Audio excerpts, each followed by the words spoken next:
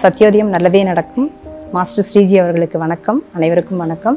நான் இங்கே பாத்தாயில் பற்றி பேச தான் வந்திருக்கேங்க இந்த பாத்தாயில் யூஸ் பண்ணதுக்கப்புறம் நல்ல மாற்றங்கள் எனக்கு தெரிய வருது. நிறைய பொறுமை கிடைக்குது. என்னால் மெடிடேஷனில் நல்லா உட்கார முடியுது. முதல்ல என்னால் மெடிடேஷனில் உட்கார முடியாது. இப்போ இருபத்தஞ்சி நிமிஷம் உட்காந்து என்னால் தியானம் பண்ண முடியுது.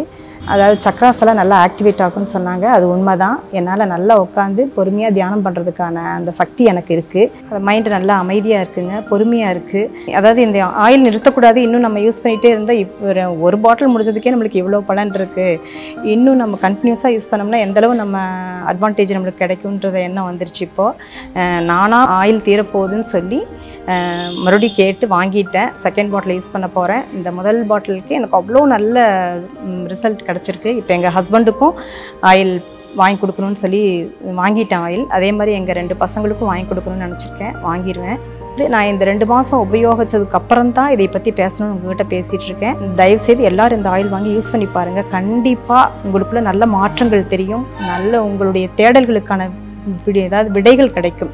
அந்த தியானத்தில் உட்கார உட்கார நம்மளுக்கு வந்து நல்ல பலன் தெரியுது. எங்கள் வீட்லேயே அவர் சொல்கிறாரு நீ அங்கே போ கிளாஸுக்கு போயிட்டு வந்துட்டுருக்கிற இப்போ எனக்கு வீட்டில் நல்லா அமைதி கிடைக்குதுங்கிறாரு. ஸோ அவரும் இப்போ ஆயில் வாங்கி யூஸ் பண்ணணுன்ற அந்த ஒரு இதில் இன்ட்ரெஸ்ட்டாக இருக்கார். தயவுசெய்து எல்லாரும் இந்த ஆயில் வாங்கி நல்ல பலன் பெறுமாறு கேட்டுக்கொள்கிறேன்.